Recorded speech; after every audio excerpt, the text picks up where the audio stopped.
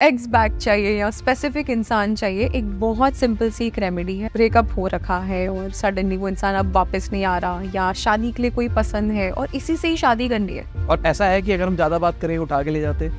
नहीं ऐसा भी कुछ नहीं है। अगर हम कहते हैं कि हमको इल्यूमिनाटी का मेंबर बनना है तो हमको बुला लेते हो कि आप आ जाओ।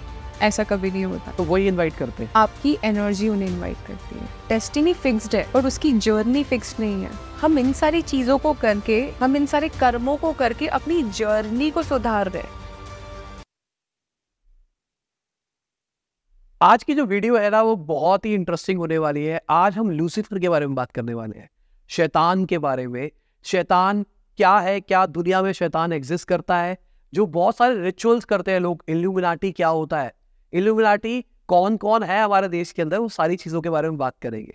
तो आज जो हमारे साथ में गेस्ट है ना वो इसी चीज़ के एक्सपर्ट हैं और वो पिछले बहुत सालों से सेम इसी चीज़ के ऊपर काम कर रहे हैं। तो वेलकम हाय सो मेरा नाम है पलक सुखवानी और मैं एक टोरंटो बेस्ड डेंटिस्ट हूँ and thank you Sahil for inviting me here ठीक है तो पहले मेरे को लूसीफर के बारे में बताओ।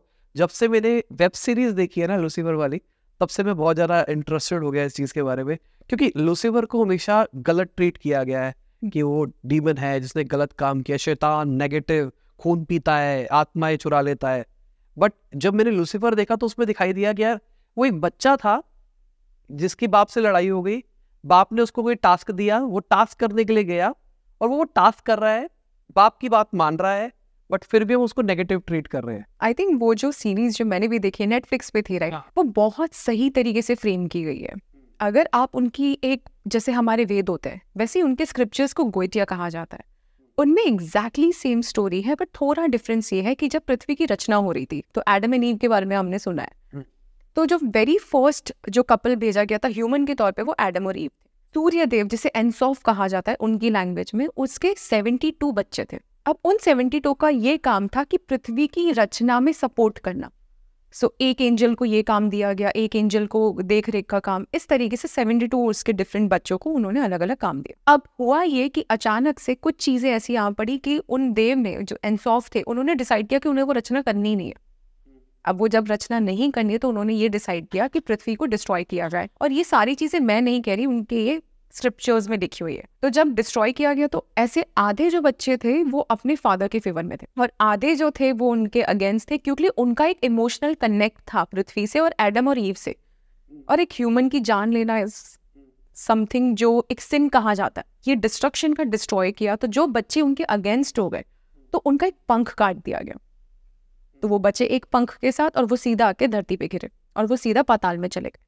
और जो जिन्होंने उनको सपोर्ट किया वो उनके साथ ही रह गए और उन्हें एंजल्स के नाम से आज हम जानते हैं। सो so, है तो एक ही फादर के बच्चे।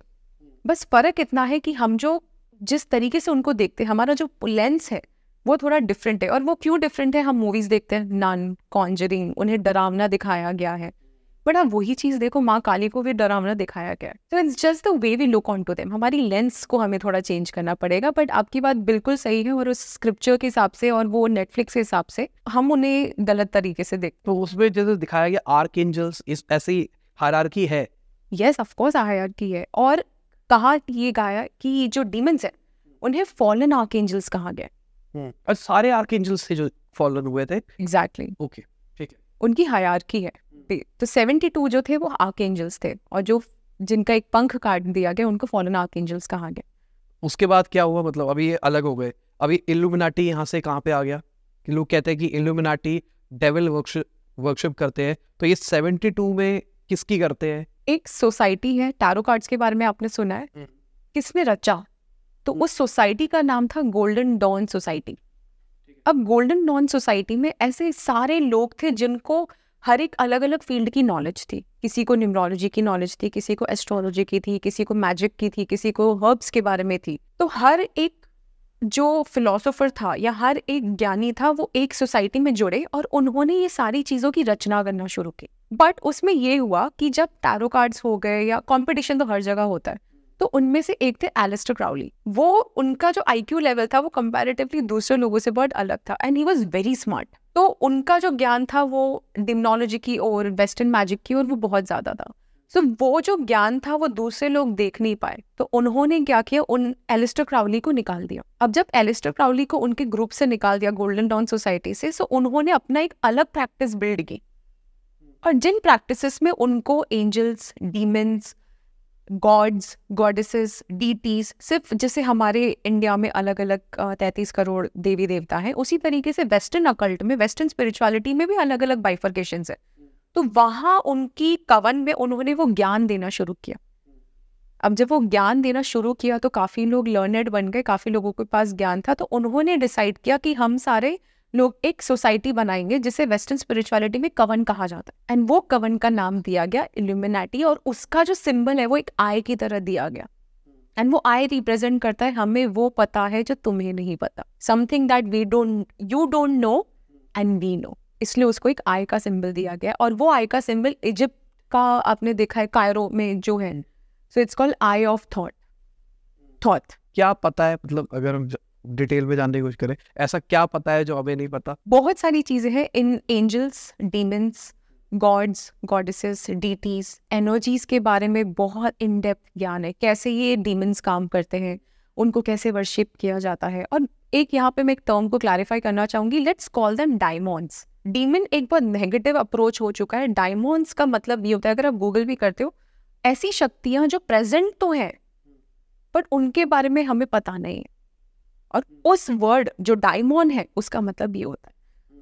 सो so, ये जो सारी प्रैक्टिसेस हैं जो एल्यूमिनाटी में सिखाई जाती है वो इनके बारे में जो नॉर्मल ह्यूमंस को नहीं पता है बट उनके द्वारा लीनिएज में कैरी हो रही है। तो अभी कहते हैं कि एल्यूमिनाटी का पार्ट बनना है तो अपनी आत्मा बेच दो एल्यूमिनाटी को उसके बाद में तुमको सेलिब्रिटी बना देंगे। तो अभी आपने बोला ये नॉलेज है नॉलेज बैंक है। तो आत्मा बेचना नॉलेज के एक्सचेंज में ऐसा हो रहा है मैं इससे अग्री भी करूँगी और डिसअग्री भी करूँगी हम्म। सिर्फ़ वही प्रैक्टिसेस नहीं है कि जहाँ सोल सेलिंग की जाती है और ये टर्म जो आत्मा बेचना उसे हम सोल सेलिंग कहते हैं या कहते हैं पैक्ट मेकिंग हम्म। यानी किसी भी डीमन के साथ या डायमंड के साथ अपना काम कराना एवज में कुछ देना। उसे कहते हैं बट ऐसी प्रैक्टिसेस हैं मैं अग्री करूँगी बट ऐसी भी प्रैक्टिसेस हैं जो सिंपल सी हैं और वो लोगों के हित के लिए की जाती है। वो लोग वो कवन में वो छोटी छोटी प्रैक्टिसेस एक दूसरे के भले के लिए कराई जाती है। बट सोल सेलिंग नाम की एक चीज़ है जो कि प्रेजेंट और एग्जिस्ट करती है। और ये जो है सेलिब्रिटी यूथ इल्यूमिनाटी ग्रुप के अंदर है तो इल्यूमिनाटी में है एक्चुअली ये? I have no view about that और ऐसा है कि अगर हम ज़्यादा बात करें उठा के ले जाते? नहीं ऐसा भी कुछ नहीं है। अगर हम कहते हैं कि हमको इल्यूमिनाटी का मेंबर बनना है तो हमको बुला लेते हो कि आप आ जाओ। ऐसा कभी नहीं होता। तो वही इनवाइट करते हैं। आपकी एनर्जी उन्हें इनवाइट करती है। Okay okay. उनमें शामिल होने के लिए आपकी एनर्जी इतनी वर्सेटाइल होनी चाहिए। और पता कैसे लगता है कि हमको इनवाइट किया है या नहीं किया? घर गिर ले गए ऐसा कुछ नहीं ऐसा कुछ भी नहीं होता।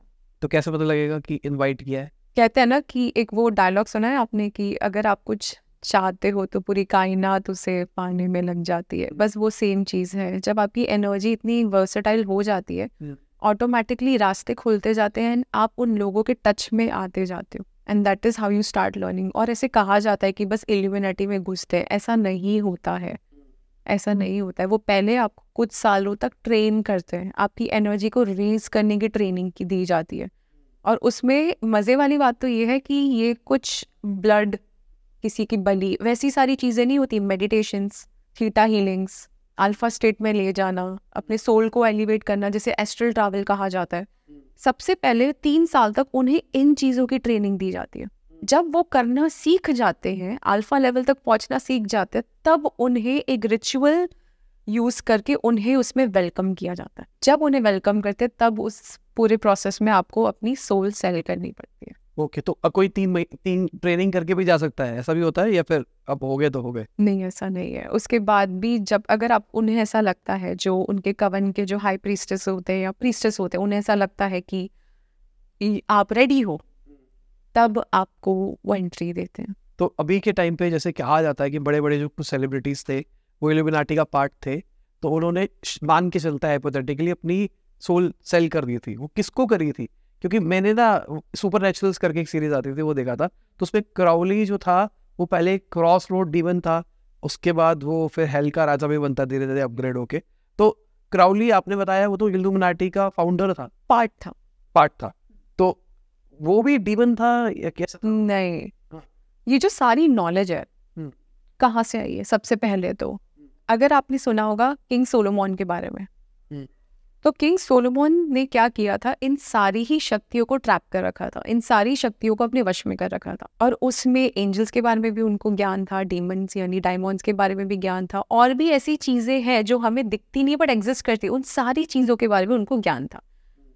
अब प्रॉब्लम क्या है? हम जैसे वेदों में है, हम रामचरित्र मानस पढ़ते हैं, भगवत गीता पढ़ते हैं, वहाँ से हमें हमारी हिस्ट्री के बारे में पता चलती है। बट वेस्टर्न अकल्ट में ऐसा नहीं होता है। वहाँ पे नॉलेज जो होती है, वो चैनलिंग के थ्रू ट्रांसफ़र होती है। तो एलिस्टर क्राउली क्या करते थे? वो सोलोमोन जो किंग थे, उसको चैनल करके वो सारा ज्ञान लिखते थे। Which is why I said Aleister Crowley ने फाउंड नहीं किया था he was part of it but आग कहाँ से रही थी? सोलोमोन्स के थ्रू सो ये सारी जो प्रैक्टिसेस है, वो चैनल करके आगे लाई गई। तो फिर वो जो आत्मा गई, किसके पास गई और उसका क्या होगा? वहाँ पे वो आत्मा की इसमें बिलीव ही नहीं करते। वो हम भले ही सोल कहते हैं, उनके लैंग्वेज में सोल का मतलब होता है ऊर्जा एनर्जी अब यहाँ पे मैं कनेक्ट करूँगी एंजल्स के साथ। फॉलन आर्क एंजल्स क्या हुआ था? एक पंख काट दिया। अब जब एक पंख काटेगा, हमारा एक पैर कट जाएगा तो क्या हम चल पाएँगे? हमें सपोर्ट चाहिए। उसी तरीके से अगर उनका एक पंख कट गया है तो उनकी एनर्जी डिप्लीट हो गई, यानी कम हो गई। ना वो उड़ सकते हैं, ना वो कोई कार्य कर सकते हैं। अब सोल सेलिंग का मतलब होता है अपनी एनर्जी किसी को देना इन रिटर्न के तू अगर मुझे नेम फेम देगी तो मैं अपनी शरीर की या चेतना की ऊर्जा तुम्हें दूँगा रिटर्न में। उसे हम टेक्निकल टर्म में सोल सेलिंग कहते हैं। तो जब एक इंसान इल्यूमिनाटी में एंटर करता है और जब अपनी सोल सेलिंग करता है, वो अपनी ऊर्जा, जो सोल की जो ऊर्जा या चेतना की जो ऊर्जा कहते हैं, वो डोनेट करता है या देता है, ताकि वो जो डायमंड्स है, उनको पावर मिले। एंड एक एक वर्ड मैं इंग्लिश में कहती हूँ diamonds they feed on energy उन्हें हमसे कुछ नहीं चाहिए उन्हें सिर्फ़ ऊर्जा चाहिए हमसे। एंड इसलिए वो आपसे आपके लिए जल्दी काम करते हैं। क्योंकि आप रिटर्न में उन्हें ऊर्जा दे रहे हो। तो बेसिकली क्या हुआ? हमको पहले ट्रेन किया गया हमारी एनर्जी को अपलिफ्ट किया गया। उसके बाद हमारी एनर्जी के ऊपर ट्रेड करके हमको इन रिटर्न दे दिया गया। तो अब इसके अंदर जो आपने बताया फॉलन एंजल्स है वो उसमें लूसीफर कहाँ है? मतलब इसमें भी हायरार्की है या फिर कैसे है? जैसे सबसे ऊपर होता है प्रेसिडेंट फिर उसके नीचे सीएम उनके नीचे सारे एमपीस काम करते हैं उनके नीचे लोकल स्टेट के एमपीस उसी तरीके से अ, इसमें जो हेड होता है उसे प्रेसिडेंट डीमन कहा जाता है जो लूसीफर खुद है। और उन लूसीफर के लिए और उसके नीचे आठ डायमंड्स काम करते हैं। और उन आठ डायमंड्स के नीचे सब स्पिरिट्स उनके लिए काम करते हैं। और उस लूसीफर के जिस तरीके से शिव के रूप है ल्यूसीफर के भी रूप है। चार रूप है उसके। एक जो है वो पॉजिटिव कामों के लिए एक नेगेटिव एक राजसिक यानी mix of positive and negative एक अकल्ट के कामों के। जो कि हमेशा कहा जाता है एक रूप लूसीफर का हमेशा सोलोमोन के साथ रहता है। थोड़ा बताओ चारों के बारे में थोड़ा सा डिटेल के चार नाम होते हैं लूसीफर को डिवाइड किया गया है। एक तो सबसे जो फ़ेमस है शैतान जिसे इंग्लिश में हम सैटन कहते हैं।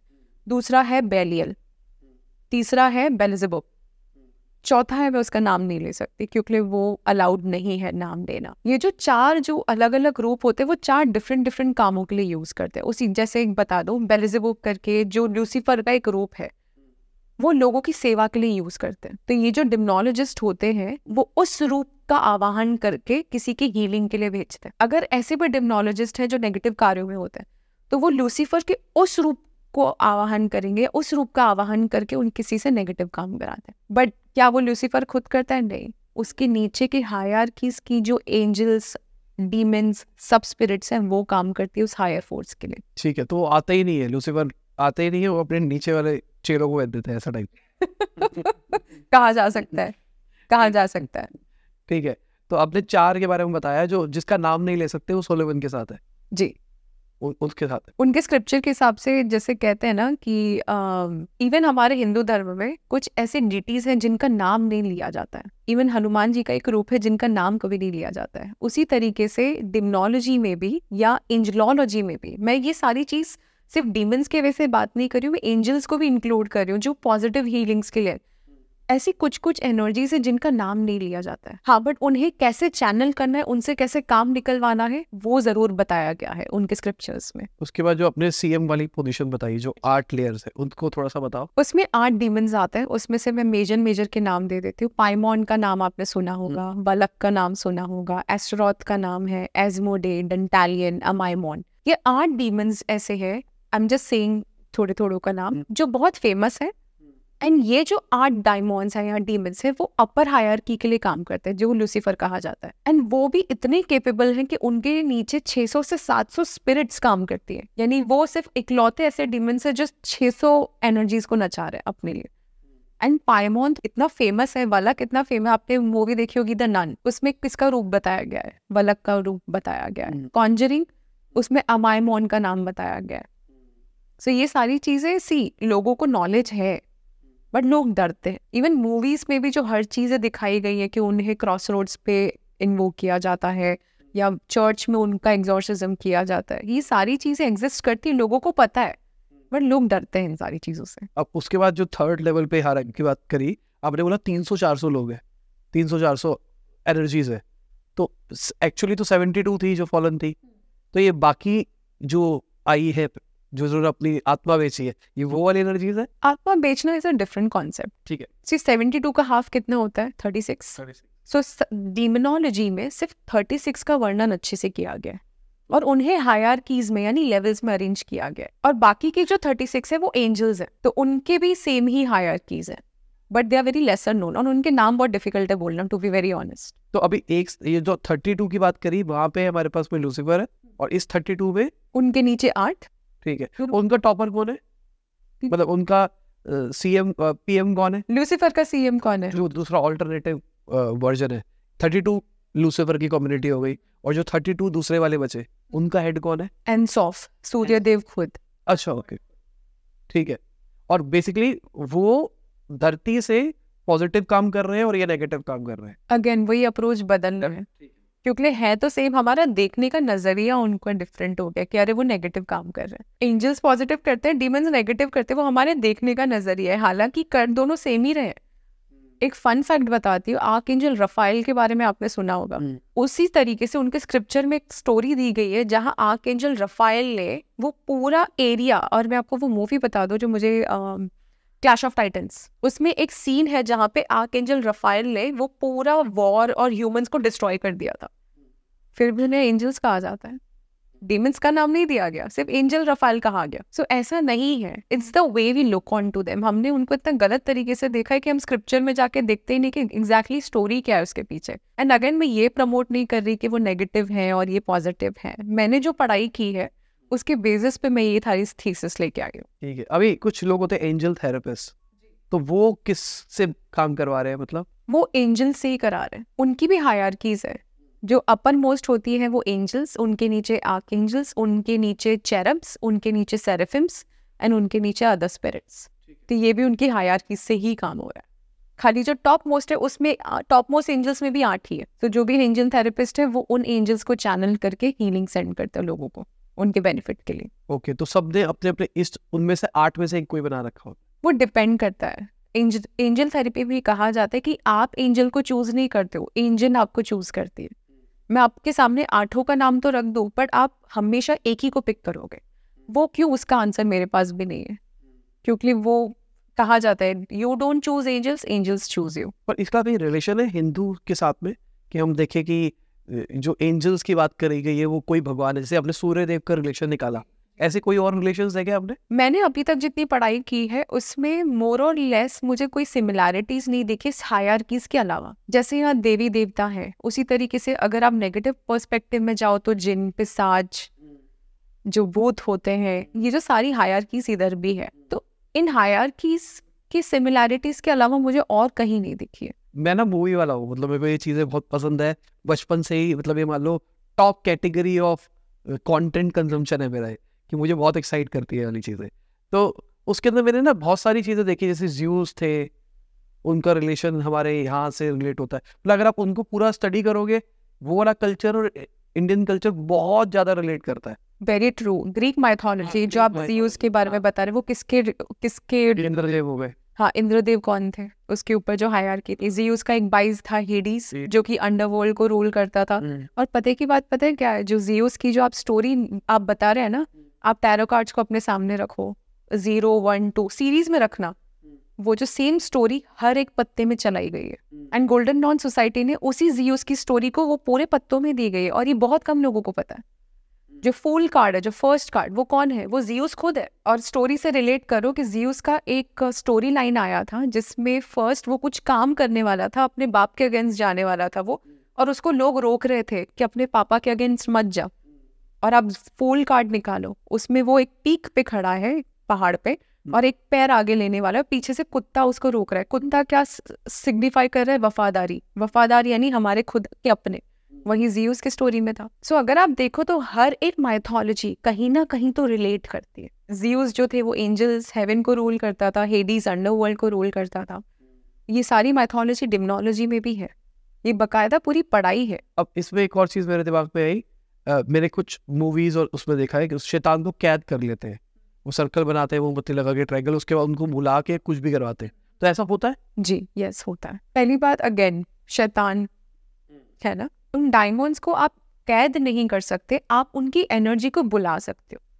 अगर आप गूगल पे एक टर्म डालो टेट्राग्रामेटॉन जब आप ये वर्ड डालोगे तो आपको एक सर्कल दिखेगा विथ अ ट्राइंगल सर्कल के अंदर जो बुला रहा है, वो बैठता है और उस ट्राइंगल के अंदर उस पर्टिकुलर डीमन या उस एनर्जी को बुलाया जाता है। और अगर आपको उनसे काम निकलवाना है तो आपको कंपलसरी उसके अंदर बैठना ही पड़ेगा, वो सर्कल के अंदर बैठना ही पड़ेगा। क्यों बैठना पड़ता है ताकि आप प्रोटेक्टेड रहो? कल को कुछ रेपोकर्शन आए तो आप पे ना आए, या वो आपको हार्म ना करे। अब जब वो बुलाया जाता है तो कुछ ऐसी स्पेसिफिक इन्वोकेशन होती है, जैसे हम आवाहन कहते हैं हिंदी में, और कुछ टूल्स यूज़ किए जाते हैं ताकि वहाँ उनकी दलील होती है कि तू मेरा ये काम कर रिटर्न में मैं तेरे को ये प्रॉमिस करता हूँ कि मैं तेरे लिए ये कर लूँगा, या तमस दे दूँगा। अब जब वो दलील हो गई, जब वो एक बार ये वो पैक्ट बन गया, यानी डील हो गई, तब उसे वापस भेजा जाता है।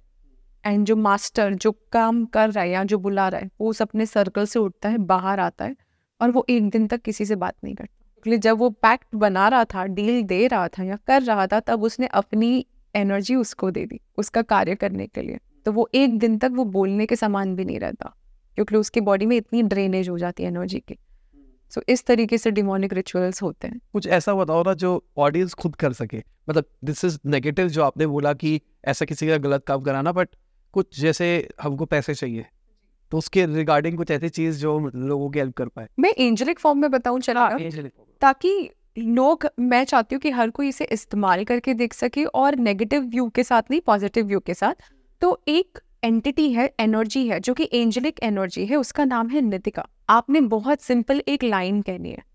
I now order command and compel you Nitika कि जाके मेरा ये काम कर दे। बट वो जो काम होगा, वो पैसों के रिलेटेड होगा कि मुझे टेन थाउज़ेंड चाहिए फाइव थाउज़ेंड चाहिए। तो I now order command and compel you Nitika to bring me X amount of money and if you do this अगर तू मेरे लिए करेगी तो मैं रिटर्न में तुझे पब्लिक प्रेज दूँगी। अब इसे हिंदी में समझाती हूँ कि आई नाउ ऑर्डर कमांड मैं तुझे ऑर्डर करती हूँ कि मेरे लिए इतना काम जाके कर क्या। बट अगर तूने कर लिया तो एवज में मैं तुझे लोगों के सामने सराहना दूँगी।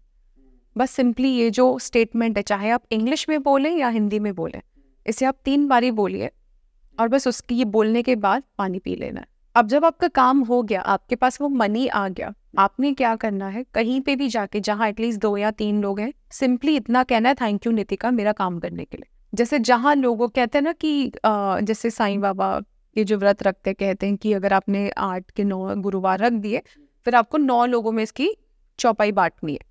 उसी तरीके से जब आपका ये काम हो जाए आपको दो या तीन लोगों को जाके सिंपली इतना कहना है थैंक यू नितिका मेरा काम करने के लिए। है ना? सिंपल एंजल्स के साथ काम करना भी उतना ही सिंपल है। बट मेरे एक्सपीरियंस uh, में मेरे पास एटलीस्ट थाउज़ेंड फीडबैक्स हैं कि ये काम किया अब इनकी कुछ नेगेटिव चीज़ें भी होती है क्या? क्योंकि मैंने ऐसा सुना है जो ये प्रैक्टिसेस करते हैं वो चीज़ें बैकफायर करती है बाद में। यस yes, मैं झूठ नहीं बोलना चाहती यस yes. एंड आज तक मैंने बैकफायर करते हुए यही देखा है कि वो जब रिचुअल हो जाता है उसके बाद जो कर रहा होता है रिचुअल वो अचानक से उसे चक्कर आ जाते हैं या डिहाइड्रेट हो जाता है या उसे अन एनर्जेटिक फील होता है या वो एकदम वीक फील करने लग जाता है। तो मैक्स टू मैक्स रेपोकर्शन आते हुए मैंने यही देखे हैं अभी तक। एंड उसका साइंस भी मैंने आपको समझाया वो ऐसा क्यों होता है? क्योंकि वो जो करता होता है वो अपनी ऊर्जा दे देता है उस पर्टिकुलर एनर्जी को। इसलिए वो ड्रेन हो जाता है। इसके अलावा मैंने आज तक कुछ भी होते हुए नहीं देखा है इन माई एक्सपीरियंस जो डेवनिक होता है उसके अंदर होता होगा शायद। नहीं उन्हीं की बात अच्छा उसमें भी मतलब ऐसा नहीं होता? ऐसा कभी नहीं होता है। हाँ एक चीज़ होती है रेपोकशन जो मुझे थोड़ा हेसिटेशन हो रहा है बोलने में but just for people's awareness कि अगर आपने उनको प्रॉमिस की हुई चीज़ नहीं दी तो वो पूरा कार्य रिवर्स कर लेते हैं। कोई ना कोई वे से वो सारी चीज़ें वापस ले लेते हैं। And I think that is also one of the reason why it's been so negative क्यों लोग उससे डरना चालू किए? क्योंकि जितना दिया है बट हमने उनको प्रॉमिस नहीं दिया तो वो उन्होंने वापस ले लिया। सो so, इसलिए लोग उनसे डरने लग गए। और यहाँ पे फिर कर्म की थ्योरी कैसे आई? मतलब जैसे एग्ज़ाम्पल के लिए जो डेस्टिनी और कर्म वाली थ्योरी है तो मैंने किसी से कुछ बुला के कुछ काम करवा लिया।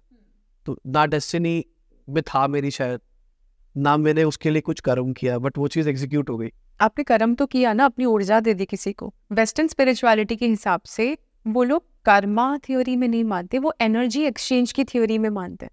तो मेरे लिए इतना काम कर मैं तेरे लिए इतना दे दूँगा। तो वहाँ हम ज़ीरो हो गए उसी को ही हम लोग यहाँ पे पैक्ट बोल रहे हैं कि तू मेरा ये काम कर एवज में मैं तुझे ये दूँगा। ज़ीरो ज़ीरो हो गए तो कर्मा आया ही नहीं बीच में। तो वो लोग बिलीव ही नहीं करते इन सारी चीज़ों में। तो अभी आपने एक बता दिया पैसे का ऐसे एक दो और बता दो वेस्टर्न स्पिरिचुअलिटी में वो लोग नेचर के साथ बहुत काम करते हैं। जिस तरीके से हम यहाँ होम करते हैं तो हम क्या क्या लेते हैं? लकड़ी घी कपूर पूरी ब्रास का मेटल तो हम नेचर की चीज़ें रहते हैं। उसी तरीके से वेस्टर्न स्पिरिचुअलिटी में भी नेचर का यूज़ किया जाता है। उसके लिए बहुत सिंपल सा उपाय है। चक्रस के बारे में आपने सुना है। चक्र थियरी उनकी उनका जो लॉजिक है वो मोर और लेस तो सेम ही है बट उनके उपाय डिफरेंट होते हैं। जैसे अगर आपका रूट चक्र ब्लॉक्ड है तो आपकी लाइफ में पैसों की प्रॉब्लम आती है दरिद्रता आती है लोग आपको गिनते नहीं है गॉसिप्स करते हैं या अचानक से सडन लॉसेस हैं तो अगर आपका रूट चक्र ब्लॉक्ड है तो वो क्या करते हैं? घी लेते हैं या तो कोई भी जैस्मिन ऑयल उसके अंदर थोड़ा सा हैना पाउडर डाल देते हैं और उसके अंदर थोड़ा सा चूना जिसे हम कैल्शियम कार्बोनेट इन तीनों चीज़ों को जब आप मिलाओगे तो एक पत्थर टाइप्स बन जाएगा एक गोटी बन जाएगी। हम्म। और हिंदी में कहूँ तो वटी। और ये वटी जब बन जाती है तो आपको अपने बेड के नीचे इसको रख देना है सोते समय। तो जब भी आपके बेड के नीचे रहेगा तो है ना क्या है, लाल रंग? वो लाल रंग किसका कलर है? रोड चक्र का? तो जब वो आपके बेड के नीचे रहती है सोते समय तो वो लाल चक्र की फ्रीक्वेंसी एमिट करती है और आपका रूट चक्र जो ब्लॉक्ड है वो हील होने लग जाता है। तो जितने भी ऐसे लोग हैं जिनका रूट चक्र ब्लॉक्ड है सडन लॉसेस आ रहे हैं लाइफ में आगे नहीं बढ़ पा रहे हैं तो उन्हें घी लेना है। उसके अंदर एक चम्मच चूना जिसे कैल्शियम कार्बोनेट जो हमें पान शॉप पे मिल जाता है और थोड़ा सा मेहंदी का पाउडर। तीनों को मिला दो तो एक वटी बन जाएगी और इस वटी को अपने बेड के नीचे रख देना। कब तक? जब तक आपको उसके रिज़ल्ट दिखने लग ना लग जाए। और जब हो जाए फिर? तो उसे लेके आप कहीं ट्रैश में फेंक दीजिए या तो उसे जला दीजिए। अब जैसे कि जिसकी शादी हो रखी है हम्म। एक ही बेड पे दोनों सो रहे हैं। पति को करना तो अपनी साइड में रखिए या फिर कैसे? अपनी साइड में डेफिनेटली अपनी साइड में। सो so, मैं एक डोज वो लोग एक थ्योरी को मानते हैं जिसे कहते हैं डोज फॉर्मेट जि, जिसको ज़रूरत है वो करे। तो सेम लॉजिक यहाँ पे भी कि अगर पति का रोज चक्र ब्लॉक्ड है तो वो अपने साइड जहाँ वो सो रहा है उसके बेड के नीचे रखेगा। ना कि बीच में या पत्नी की साइड हार्ट चक्रा क्योंकि दिल सबके टूटते हैं।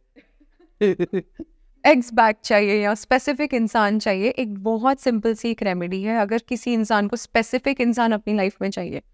ब्रेकअप हो रखा है और सडनली वो इंसान अब वापस नहीं आ रहा या शादी के लिए कोई पसंद है और इसी से ही शादी करनी है।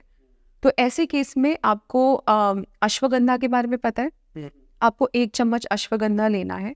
और उसके अंदर रोज वाटर डालना है। और रोज वाटर इतना डालना है कि वो लिक्विड बन जाए। अब एक कांच की बर्नी ले लो, उसके अंदर ये मिश्रण डाल दो और जिस इंसान को आप चाहते हो, उसका नाम एक पेपर में लिख के इस बॉटल में डाल दो। अब जैसे ही आपने बॉटल में डाल दिया तो वो आधा पेस्ट में रहेगा और आधा खाली रहेगा और उसे वैसे ही रखना है। बॉटल को बंद किया और कोई भी अंधेरे वाली जगह में छुपा देना। विद इन टू डेज़ उनको रिज़ल्ट दिख जाते हैं। अब ये नेगेटिव है या पॉजिटिव है? पॉजिटिव ये भी पॉजिटिव है। Yeah. क्योंकि हम यहाँ पे कुछ नेगेटिव एंटिटीज को एनर्जाइज या बुला ही नहीं रहे। हम यहाँ पे हर्ब्स से काम ले रहे हैं उनके तत्वों की एनर्जी से काम ले रहे हैं। और ये रेमेडीज जो है वो बहुत ट्राइड एंड टेस्टेड है तो ही बोल रही हूँ मैं। और किसी को अपना स्पिरिचुअल एंगल खोलना है क्राउन चक्र है थर्ड आई खोलना है। बहुत अच्छा है आई थिंक ये बहुत अच्छा क्वेश्चन है। आई थिंक जेंजी जो आजकल जितने भी लोग हैं या जो मॉडर्न एज है आपने वो चीज़ नोटिस की कि वो स्पिरिचुअलिटी की ओर बहुत जा रहे हैं। एंड वो क्यों जा रहे हैं? बिकॉज़ एट नंबर का ईयर है सैटन का ईयर है इस साल राइट अब सैटन का ईयर क्या करता है कि आपकी स्पिरिचुअलिटी में अवेकनिंग देता है। तो अगर आपको अपना क्राउन चक्रा जो ब्लॉक्ड है, पहली बात क्राउन चक्रा ब्लॉक्ड होता ही नहीं, उसे ओपन करना पड़ता है। क्राउन और थर्ड आई चक्रा जो होते हैं, वो दो ऐसे चक्र होते हैं जो कभी ब्लॉक नहीं हो सकते। एक्सेप्ट अगर आपका ब्रेन हैमरेज है या कहीं आपकी ब्रेन की सर्जरी हुई हो, उसके अलावा कभी भी वो ब्लॉक होते ही नहीं। तो अगर आपको थर्ड आई चक्र अपना खोलना है तो यांग यांग करके एक इसेंशियल ऑयल आता है। अगर यांग यांग नहीं है तो लवेंडर भी चलेगा। आपको अपने इन दोनों फिंगर्स में थोड़ा सा लगाना है और सोने से पहले उसे एंटी क्लॉकवाइज मसाज करना है, अपने थर्ड आई पे। तो ये हुआ आपका थर्ड आई अब क्राउन क्राउन के लिए जो दो, अब आपके दोनों हाथ है, इस तरीके से रखने हैं। और इसे अपने क्राउन पे इस तरीके से रख दो। और क्राउन पे इस तरीके से रख के सोने से पहले अपनी आँखों को अंदर की ओर फोकस करना है। और अंदर की ओर यानी ऊपर की ओर फोकस करना है सिर्फ़ पाँच मिनट ऐसे बैठे रहो, बस। आपका क्राउन चक्र ग्रेजुअली ओपन होने लग जाता है। विद इन थ्री डेज़ ऐसा होता है आपकी साइकिक एबिलिटीज डेवलप होती है। आप किसी इंसान से मिलते तो आपको ऐसा लगता है कि वो जो मन में सोच रहा है, आप आप वो फील करने लग जाते हो कि हाँ ये ये सोच रहा है। आप किसी इंसान, आपके कौन से इंटेंशन से आ रहा है चल के वो आपको पता चलने लग जाता है उसकी एनर्जी फील होने लग जाती है। सिर्फ़ तीन दिन दोनों हाथ इस तरीके से अपने क्राउन पे और आँखों को ऊपर की ओर फोकस करना है आँख बंद करके। सिर्फ़ पाँच मिनट ऐसे बैठना है बस। And within three days आपको रिज़ल्ट दिखेंगे उसके। दो और बच गए चक्कर वो भी खत्म कर लेते हैं। बता दो आप। मुझे आपसे क्वेश्चन है एक्चुअली कि थ्रोट चक्र अगर लोगों का खुल जाएगा तो आपको नहीं लगता वो डेंजर है? देखो मेरे को ऐसा लगता है मेरी थ्योरी क्या कहती है? क्योंकि बहुत साल पहले जिनको नहीं पता मैंने अपने मेन चैनल पे आज से चार साल पाँच साल पहले चक्रा मेडिटेशन की वीडियो डाली थी। तो वहाँ पे मैंने अपना पॉइंट ऑफ़ व्यू शेयर किया था कि वॉट इज़ चक्रा साइंटिफिकली क्या है। तो मुझे लगता है कि तीन स्टेट्स है एक है क्लोज एक है प्रॉपर ओपन और एक है ज़्यादा एक्सपोज अगर कोई चीज़ ज़्यादा है तो तो नेगेटिव ही है। बट खुलनी सबकी चाहिए मतलब अपने दिल की बात सामने रख पाए अगर आप सोशल मीडिया में कुछ जाना चाहते हो तो आप बोल पाओ ढंग से कॉन्फिडेंटली अपनी बात रख पाओ तो आप चाहते हो। आप ये नहीं चाहते हमेशा दबे रहो वो पर्सनैलिटी बना के रखो बट दूसरी साइड पे आप ये भी नहीं चाहते कि फैल के घूमो मुझसे। तो वो भी नहीं चाहिए तो मेरे हिसाब से बैलेंस ओपनिंग सबको चाहिए। वेरी ट्रू एंड आजकल आपने वो देखा है कैंसर हो रहा है लोगों हम्म। को या ऐसी बड़ी बड़ी बीमारियाँ दिल की बीमारियाँ। उनके बारे में साइकोसोमेटिक रिसर्च हो रही है। जो ये कहता है कि जब कोई इंसान अपने अंदर इमोशन स्टोर करता है तो थ्रोट चक्रा के रिलेटेड जो थायराइड है या थ्रोट कैंसर है, वो क्यों होता है? वो इंसान बोल नहीं पा रहा है, अपने इमोशंस को एक्सप्रेस नहीं कर पा रहा है। और जब वो इतना जमा हो जाता है तो वो सेल्स को वहाँ डेड करने लग जाता है। एंड वो मेटास्टाइज यानी वो फैल फैल के वो कैंसर फैलने लग जाता है। तो आई थिंक इसके बारे में इतनी वाइड रेंज में रिसर्च हो रही है, जिसे कहा जाता है साइकोसोमेटिक रिसर्च थ्रोट चक्रा को अगर आपको ओपन करना है तो लैपिस लजूली करके क्रिश्चल आता है। थोड़ा सा ऑलिव ऑयल लेना है और उस क्रिश्चल पे लगाना है। और एवरी डे सोने से पहले उस क्रिश्चल को एंटी क्लॉकवाइज रोटेट करना है उस चक्र पे, क्योंकि आप उसे खोलना चाहते हो। हमेशा चक्रस को खोलना है तो एंटी क्लॉकवाइज ही करना पड़ेगा। और क्लोज करना है तो क्लॉकवाइज क्लॉकवाइज कभी कभी जस्ट लाइक आपने कहा कि वो बहुत ज़्यादा सेंसिटाइज हो जाता है। मैं उसे कहती सेंसिटाइज हो जाना। ओवर उनमें उनका जो वाइब्रेशन है वो ओवर हो जाती है। हम्म। तो उसे अगर आप कम करना चाहते हो या बैलेंस करना चाहते हो तो आप क्लॉकवाइज करोगे। Lapis lazuli with olive oil anti clockwise दो या तीन मिनट एंड देन आपको सो जाना है। एक बज गया। दो बचे सोलर एंड सेक्रल तो सेक्रल चक्रा जो है वो रूट चक्रा के ऊपर आता है जो आपके पूरे बॉडी की अग्नि वैसे सेक्रल जो है एंड सोलर वो दोनों मेटाबॉलिज्म अग्नि के ही कारक होते हैं। बट सेक्रल चक्रा को अगर आपको ओपन करना है तो वो फीमेल रिप्रोडक्शन मेल रिप्रोडक्शन आपकी लोअर बॉडी इन सारी चीज़ों को रेगुलेट करता है। तो जो लोग जिनको हार्मोनल प्रॉब्लम्स है या अपनी कंसीविंग में इश्यूज़ हैं प्रेगनेंसी इश्यूज़ आ रहे हैं तो सेक्रल चक्रा को अगर वो हील करना चाहते हैं तो संडे के दिन पे उनको पानी लेना है उसके अंदर थोड़ी सी हल्दी डालनी है और दो बड़ी बड़ी स्टैंड सैफरन की, जिसे हम केसर कहते हैं। ये तीनों चीज़ों को मिला लिया। अब उसका पानी जो होता है, वो अपने अपने सामने वो पानी रखो। थोड़ा इधर लगाया, फिर इधर एंटी क्लॉकवाइज रब किया। थोड़ा पानी में हाथ डाला, फिर एंटी क्लॉकवाइज रब किया। ऐसे आपको गिन के सात या ग्यारह बारी रब करना है एंटी क्लॉकवाइज अब जो पानी बचेगा, उसको जाके आप कहीं पेड़ के अंदर डाल के आइए। ये हो गया आपका सेक्रल अब आता है सोलर जिससे पेट की बीमारी है या स्टेगनेंट इमोशंस है। या वो इंसान लाइफ में अचानक से तरक्की करता है, नीचे आ जाता है। तरक्की करता है, नीचे आ जाता है। तो मोर और लेस सोलर भी उसे रेगुलेट करता है। तो अगर आप अपने सोलर चक्रा को हील करना चाहते हो, बहुत सिंपल सा उपाय है। आपको अपनी फ़र्स्ट फिंगर लेनी है और फ़र्स्ट फिंगर को इधर रखना है सोलर पे और गीन के आठ बारी सिर्फ़ press and release press and release every day उठने के तुरंत बाद सिर्फ़ अपनी उंगली रखी फ़र्स्ट वाली press and release press and release ऐसे आपको सात या ग्यारह बार ही करना है। और सिर्फ़ एक ही इंटेंशन डालना है कि आज पूरे दिन मेरा सोलर चक्रा बैलेंस रहेगा। आप पूरे दिन में अपने अंदर नोट करिए। क्या चेंजेस आते हैं? ये बहुत सिंपल सी रेमेडी है। चक्रा की क्लास हो गई हमारी। हमने लूसीफर से शुरुआत करी है। फिर सीधा हम चक्रा की तरफ़ चले गए हैं। बट आई थिंक मेरे को लगता है कि बातों बातों से टॉपिक भी इसलिए निकलते क्योंकि मुझे लगता है कितने लोगों को इनकी ज़रूरत होगी। ऐसे कितने लोग हैं जो इन सारी चीज़ों से परेशान हैं और वो अपना सोल्यूशन नहीं ढूंढ पा रहे? सो यू नेवर नो कि कौन सी चीज़ उन पे कैसे काम कर जाए और कैसे उनको बेनिफिट हो जाए। प्रोकास्टिनेशन के लिए भी है क्या कुछ? बहुत बड़ी दिक्कत है मेरे को तो है मैं जिम की मेंबरशिप लेके बैठा रहता हूँ पिछले साल भी खराब करी है इस साल भी दो महीने तो हो गए हैं। आई थिंक uh, मैं भी उनमें से एक थी। अगर आप मुझे 2018 से पहले देखते तो मैं भी उनमें से एक थी कि जब मुझे गुरुओं ने बोला अच्छा आपको ये सिद्धि लेनी है या आपको इतने जाप करने तो वो प्रोकेस्टिनेशन की वजह से नहीं थी। But how I achieved it first procrastination का सिर्फ़ लॉजिकली बात करें तो आपका मेंटल उपाय होता है। आप मेंटल वर्क होता है।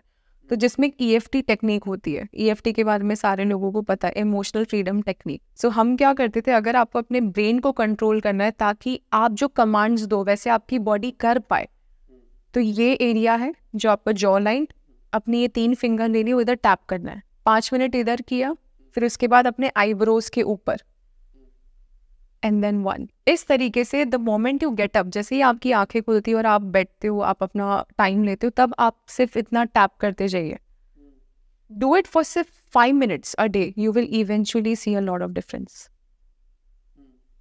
ऐसे मैंने ठीक किया अपने प्रोकेस्टिनेशन क्योंकि बहुत बड़ी प्रॉब्लम है। मेरे साथ मैं कई चीज़ों को लेके प्रोकास्टिनेट करता हूँ और कई चीज़ों को नहीं करता। और वैदिक वे से देखा जाए तो आपको चौदह मुखी रुद्राक्ष करना चाहिए। ऐसा क्यों?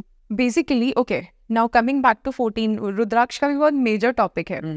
कहा जाता है कि फोर्टीन मुखी जो रुद्राक्ष है उसके अंदर टोटल एट एलिमेंट्स हैं और जो आठों एलिमेंट्स हैं वो मेटल्स के एलिमेंट है। मेटल जिसे कहा जाता है। अब मेटल का तत्व क्या है? हीट उसमें हीट जगा यानी मेटल्स क्या करते हैं? हीट जगाते हैं। और उस चौदह मुखी रुद्राक्ष में वो सारे मेटलिक एलिमेंट्स हैं। तो जब इंसान उसे धारण करता है तो उसके बॉडी में वो मेटल की जो एनर्जी है वो रेज होती है. And when it raises your body automatically starts listening to the command given by the brain. And 14 मुखी रुद्राक्ष एक लौता ऐसा रुद्राक्ष है जिसमें सारे सिर्फ़ मेटलिक एलिमेंट्स हैं. और सब ले सकते हैं उसको? हाँ ये जनरल रेमेडी है. हालाँकि मैं ये नहीं कहूँगी कि जो दूसरे जो रुद्राक्ष हैं वो आप ऐसे ही पहन सके नहीं. आप एक प्रॉपर जो बिलीवर हैं जिनको इन चीज़ों की नॉलेज है उन्हें आप कंसल्ट कीजिए वो आपकी पहले नेटल चार्ट पढ़ेंगे. बट फोर्टीन मुखी जो रुद्राक्ष है हाँ ये कॉमन रेमेडी है और हर कोई इसे यूज़ कर सकता है। एंड फोर्टीन मुखी फॉर दैट बींग सेट जो लोग अभी एग्ज़ाम्स दे रहे हैं, बहुत ज़्यादा कॉन्सेंट्रेट नहीं कर पा रहे हैं, पढ़ाई नहीं कर पा रहे हैं, या कोई चीज़ उन्हें करने में दिक्कत आ रही है तो ये चौदह मुखी रुद्राक्ष अगर वो अपने साथ कैरी करते हैं तो उन्हें उनको भी बेनिफिट हो सकता है। रुद्राक्ष से क्वेश्चन निकल गया। रुद्राक्ष दूसरों को दे भी सकते हैं, जैसे पहले मैंने पहन लिया फिर मैंने किसी और को दे दिया एथरिक वे से या अगर आप एथिकली उनके बारे में पढ़ने जाओ तो आप ऐसे नहीं कर सकते पंचमुखी रुद्राक्ष जो सबसे कॉमनेस्ट रुद्राक्ष होता है जिसमें पंचो तत्वों की एनर्जी है या ऊर्जा है उसे भी मेरे गुरु कहते हैं उन्हें भी कभी आप चैनल करके मत दो या कि मेरी मम्मी ने पहन लिया तो बेटा भी पहन रहा ऐसा कभी नहीं कर सकते। लोग करते होंगे बट मेरे गुरुओं द्वारा मुझे ये सिखाया गया कि अपने तत्व अपने तक ही रखने चाहिए। और वो जैसे हम पिक्चरों की बहुत बातें कर रहे हैं देखा जाए ना। Yeah. जैसे एक पिक्चर से रुद्राक्ष उसके अंदर रक्त तदीम तदीम तदीम तो वो जो रुद्राक्ष वाली दिखाया गया क्या वो एक्चुअली होता है कि अगर किसी ने रुद्राक्ष सिद्ध कर लिया टाइप्स तो वो भी डीमन वाली पावर्स ले पाएगा या वो भी ऐसा कुछ हो जाएगा? पिक्चरों में जिस तरीके से नहीं मैं तो जानता हूँ कि रियलिटी है या नहीं है। मेरे नज़रों में डिमोनिक एंटिटीज़ या एक वाइब्रेंट एंटि वो जो दिखाया गया है, वैसा नहीं होता है बट आप सिद्ध हो जाते हो। सिद्ध का मतलब क्या होता है? जब आपकी तीनों चीज़ें अलाइन हो जाए स्पिरिचुअल मेंटल एंड फ़िज़िकल अब जब ये तीनों चीज़ें अलाइन हो जाती है तो इंसान क्या, उसकी ऊर्जा बढ़ जाती है? और वो कौन करता है? एक मुखी रुद्राक्ष। तो उस मूवी में जितना दिखाया गया तो कि एकदम वाइब्रेंट हो जाता है, या वो मूवी के पॉइंट ऑफ़ व्यू से ठीक है बट अगर आप उसे रियलिटी में देखो तो हाँ अगर ऐसे कुछ रुद्राक्ष हैं जिनको धारण करने से इंसान की ऊर्जा एक्सपांड हो जाती है। तो मेरे नज़रों में यस ऐसा होता है बट पिक्चर जैसा नहीं। अभी हम एनर्जीज के बारे में बात कर रहे थे तो जो हमारी एनर्जीज इकट्ठी करी जा रही है मतलब जो भी उस कल्ट को ज्वाइन कर रहे हैं, उनके पास एनर्जी इकट्ठी हो रही है कि वो किस लिए इकट्ठी करी जा रही है? मैं तो ये अचानक दिमाग में क्वेश्चन आया। मैंने अपनी सोल किसी को दे दी। और वो जो एनर्जी थी वो किसी के पास चली गई। ऐसे बहुत सारे लोग बहुत सदियों से देते आ रहे हैं। ऐसे करते करते उनके पास बहुत सोल इकट्ठी हो गई तो बहुत ज़्यादा एनर्जी इकट्ठी हो गई। तो इसका इसका अल्टीमेट गोल क्या है? कि इतनी एनर्जी इकट्ठी कर लेंगे कि हम वापसी अपने पंख लेके ऊपर चले जाएँगे। नहीं ऐसा नहीं होता है। एनर्जी uh, एक्सचेंज के बारे में सुना था या मैं अगेन आपको स्क्वायर वन पे लेके आना चाहती हूँ। एक होता है जो सोल है उसको एनर्जी के पॉइंट ऑफ़ व्यू से देखो। आपकी जो सोल है वो आपकी एनर्जी है। से फॉर एग्ज़ाम्पल एक बहुत बेसिक एग्ज़ाम्पल है कि कोई इंसान अगर जा रहा है किसी रेस्टोरेंट में वो कहता है आप मुझे रोज़ खाना दे देना मैं आपके लिए रोज़ ये डिलीवरी कर दूँगा। सेम फिलोसॉफी वहाँ है। आप मुझे ऊर्जा दे दो रिटर्न में या एवज में मैं आपके लिए काम कर दूँगा। अब जब वो ऊर्जा वो पर्टिकुलर एंटिटी या डायमंड के पास जाती है वो उसे वो कार्य करने में यूटिलाइज कर देता है। तो वो इकट्ठी नहीं हो रही है कहीं पे भी। मेरे को लगा वो बैंक इकट्ठा कर रहे हैं ताकि फ्यूचर में कुछ अटैक वटैक कर सके। पिक्चर की स्टोरी दिमाग में आ रही थी। ये क्यूरियोसिटी मेरे अंदर भी पहले थी बट अगर जब आप उनके पीछे का साइंस समझने जाते हो तो एनर्जी एक्सचेंज का जब एक टर्म आ जाता है पिक्चर में तब आपका माइंडसेट क्लियर हो जाता है कि ओके एनर्जी ली यूटिलाइज की काम खत्म। तो इंडिया के अंदर है क्या ये सारी चीज़? यस yes, है। ऐसे काफ़ी ऐसी प्रैक्टिसेस हैं जो इंडिया में भी हो रही है बट जिस तरीके से कहते हैं मतलब मैं ये कहना चाहूँगी कि लोग डरते हैं इन सारी चीज़ों से तो वो ओपन में नहीं होती है। जिस तरीके से वहाँ अब्रॉड में ओपन में किया जाता है, सिखाया जाता है, सेम चीज़ें यहाँ नहीं होती हैं। बट यस प्रैक्टिस है और मेजोरिटी के लिए जो पोर्चुगल साइड है गोवनीस जो हमारा सी कल्चर के साइड पे है, वहाँ ये प्रैक्टिस ज़्यादा होती है। इनफैक्ट ऐसी कुछ ट्राइब्स है जो कि लक्षद्वीप में है। एंड इवन अंडमान निकोबार का एक ऐसा आइसोलेटेड पार्ट है, वहाँ भी ये प्रैक्टिसेस होती है। वहाँ का ट्राइब आपको कोई भी नॉर्मल ह्यूमन को अंदर घुसने नहीं देता। है तो अगर आप इसके बारे में रिसर्च करोगे तो आपको सेम ही चीज़ मिलेगी। तो अभी जैसे आपने इंडिया की बात करके चली, ये ओपन में नहीं काम हो रहा है तो जो तांत्रिक प्रैक्टिस है, क्या ये भी उसी से सिमिलर चीज़ें हैं? बस हिंदी हिंदू रिचुअल्स के नाम पे हो तंत्र का मतलब आपके लैंग्वेज में क्या है? तंत्र का मतलब चीज़ों को अपने हिसाब से कंट्रोल करना इन्वेंट करना अपने हिसाब से टाइप मतलब एक कोर्स ऑफ़ एक्शन था वन टू थ्री मैंने सीधा वन थ्री कर दिया। अगर मैं उसे टेक्निकल लैंग्वेज में बोलूँ एंड मैं क्यों ये कह रही हूँ? क्योंकि मैं कौल तंत्र के मार्ग में हूँ मेरे गुरु भी हैं आज भी है वो। उनके हिसाब से कौल तंत्र के हिसाब से तंत्र का मतलब होता है पंच तत्वों को मैनिपुलेट करके spiritual mental and physically align करना। पंच तत्वों के वजह से आप इन तीनों चीज़ों को अलाइन करते हो, उसे तंत्र कहा जाता है। उसका एक पार्ट होता है अपनी इच्छा के अनुसार कार्य करवाना, वो सिर्फ़ एक पार्ट है। आजकल तंत्र का मतलब क्या है कि बस किसी का नेगेटिव कर लिया, किसी पे कुछ भूत पेट यू नो डाल दिया, किसी का कुछ नेगेटिव हो गया, या सेक्स जो आजकल बहुत कॉमन टॉपिक है। बट रियलिटी में तंत्र वो नहीं है। तंत्र का मतलब है पाँच तत्व जो सबके सबको पता ही है। हम्म। उन चीज़ों को वो पाँच तत्वों को मैनिपुलेट करके इन तीनों चीज़ों को अलाइनमेंट में लाना spiritual mental and physical alignment आप देखो जब स्पिरिचुअल मेंटल और फ़िज़िकल अलाइनमेंट नहीं होती तो हमारे आजू बाजू प्रॉब्लम्स आना चालू हो जाती है। एक भी चीज़ इम्बेलेंस हुई आप देखो दुनिया ऊपर नीचे हो जाती है। सो so, तंत्र का रियल मीनिंग ये होता है। होता कैसे है? मतलब उसमें पाँच तत्व यूज़ किए जाते हैं। और पाँच तत्वों को यूज़ करके दो टूल्स होते हैं, मंत्र और यंत्र। ये मंत्र और यंत्र द्वारा उन पाँचों तत्वों को मैनिपुलेट किया जाता है कोई स्पेसिफिक कार्य के लिए। एंड वो होता कैसे है? जैसे से फॉर एग्ज़ाम्पल अगर कौल तंत्र के हिसाब से देखा जाए तो वहाँ हम देवियों को पूछते हैं, उन देवियों के रूप को पूछते हैं। हम शुरू करते, सबसे पहले एक नाम दीक्षा होती है, उसके बाद बीज दीक्षा होती है उसके बाद महादीक्षा होती है। फिर आपको आपके तंत्र जो कौलाचार्य है जो कौल तंत्र है उसमें आपका आवाहन होता है। इस तरीके से आप स्टेप बाय स्टेप आगे जाते जाते हो। और जब आप आगे जाते जाते हो तो इस पूरे प्रोसेस में आपको अलग अलग टूल्स दिए जाते हैं जिससे आप अपने संकल्प को पूर्ण कर सकते हो। टूल्स थोड़ा सा एक्सप्लेन करो। तलवार। नहीं नहीं वो वाले टूल्स नहीं होते हैं। अलग अलग श्रेणियाँ होती है। से फॉर एग्ज़ाम्पल कि अगर हमें अपने आप को प्रोटेक्ट करना है तो माँ बंगला का हवन कैसे किया जाता है? उनके मंत्रों का उच्चारण कैसे किया जाता है? कौन से हम उपाय कर सकते हैं? कैसे माँ का आवाहन करके हम अपनी और को अपनी पूरी जो एनर्जी उसको सील कर सकते हैं, ताकि कोई हम पे कोई खराब कार्य कर रहा है तो वो हम अपने आप को उससे बचा सकें। अलग अलग पड़ाव में अलग अलग आपको चीज़ें सिखाई जाती हैं। जैसे मैंने अब माँ बगला के बारे में बोला कि कैसे उसका होमा करना है, कौन सा मंत्र से आप होम करोगे, पूरे होम में आप कौन सी सामग्री यूज़ करोगे कैसे उसकी पूर्णा होती होती कैसे उसका आवाहन होगा कैसे उसकी संपत्ति होगी एंड में जाके। तो वो सारी चीज़ें सिखाई जाती हैं। तो ये जैसे आपने बताया ये भी कम्युनिटीज बनी हुई है अलग अलग इसमें भी तंत्र में?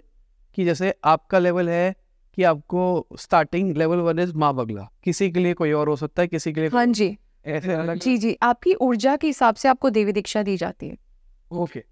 जैसे कुछ लोग होते हैं वो ये कहते हैं कि आ, हमें नाम शौर्य सुंदरता चाहिए तो उन्हें माँ राज राजेश्वरी की दीक्षा दी जाती है। तो आपकी ऊर्जा के हिसाब से आपको आपके जो गुरु होते हैं वो उस मार्ग पे ले जाते हैं उसी मार्ग में ले जाके आपको अलग अलग चीज़ें दी जाती हैं। जो उनका ज्ञान होता है वो आपको दिया जाता है। वो विजडम लीनियज कैसे कहते हैं ना लीनियज थ्रू ट्रांसफ़र हुई। वैसे आपके गुरु आपकी लीनियज के हिसाब से आपको वो और इसमें भी एनर्जी ट्रेनिंग होती है? नहीं बिल्कुल नहीं। नॉट एट ऑल क्योंकि यहाँ पे तो आप देवी का आवाहन कर रहे हो ना देवी तो आपको शक्ति देती है। वो लेती नहीं है कभी भी। और मैंने सुना है कि तंत्र के अंदर जो गुरु होते हैं वो अपनी सिद्धि अपने चेले को देते हैं फिर वो फिर आगे ऐसे खुद पर ओरिजिन कहीं से नहीं होता। मतलब मैं रातों रात खुद से कुछ नहीं हासिल कर सकता मुझे गुरु चाहिए जो मुझे अपने देगे फिर ऐसे ऐसे ही होता है। मोर और लेस मैं अग्री एटी परसेंट अग्री करूँगी ट्वेंटी परसेंट नहीं करूँगी। एटी परसेंट जो मेरा अग्रियल पार्ट है वो इस बात पे होगा कि जो गुरु होता है वो अपने जाप की जो शक्ति होती है जाप वो सबसे पहले वो सिद्धि करते उस मंत्र की। और उन्हें वो सिद्धियाँ कहाँ से मिली हुई थी? उनके गुरु से। अब जब वो सिद्धियों का सिद्धि लेते हैं तो उनके अंदर वो एनर्जी ऑलरेडी स्टोर्ड होती है। तो जब वो अपने शिष्य को शक्तिपात दे रहे होते हैं तो वो अपने हिस्से की एनर्जी अपने जाप जो किया हुआ जो है, उसके हिस्से की एनर्जी अपने शिष्य को देता है। एंड शिष्य फिर से अपना वही जैसे गुरु की लीनेज फॉलो होती है, शिष्य भी अपने जाप करके उस एनर्जी को करते हैं और ऐसे लीनेज आगे कैरी फॉरवर्ड हुआ जाता है। तो उस पूरे टर्म को हम कहते हैं शक्तिपात ठीक है, अभी आपने जैसे जाप, बीज, मंत्र की बात करी तो अभी ये बहुत सारे वर्ड्स चल रहे हैं मार्केट के अंदर, वो बोलो और ये चीज़ मिल जाएगी। तो वो भी इन दोनों कम्युनिटीज में से एक का पार्ट है क्या? बिल्कुल नहीं। एक बहुत अच्छा आपने कॉन्वल एक्सा के बारे में सुना है जैसे हाँ। राइट हम्म। सो वो जिस तरीके से हमारे मंत्रज हैं उसी तरीके से कॉन्वल एक्सा जो है कॉन्वा नहीं है कॉन्वल एक्सा है वो जो अपर सदर्न इटालियन साइड जो है जो अपर यूरोपियन साइड बोलते हैं वहाँ के वर्ड्स हैं वहाँ के एनर्जी वर्ड्स हैं। कुछ लोग उसे स्विच वर्ड्स कह रहे हैं। कुछ लोग उसे मंत्रास कह रहे हैं। हालाँकि उनका रियल टर्म है फोकशायोस। अब जिस तरीके से हम क्या करते कोई हमारे पास आता है, वो ये कहता है कि मैं बीमार हूँ कि गुरुजी कुछ कर दीजिए। तो गुरुजी क्या करते उसे हीलिंग सेंड करते हैं, उनके लिए होम किया जाता है, उनके लिए मंत्र जाप किए जाते हैं राइट इसी तरीके से उन कल्चर में कोई इंसान बीमार है या उसे कोई प्रॉब्लम से है तो एक ब्लेसिंग रिचुअल परफॉर्म किया जाता है। और उन ब्लेसिंग रिचुअल्स में ये जो वर्ड्स हैं, जिसे फोकशायर कहा जाता है, वो यूज़ होते हैं।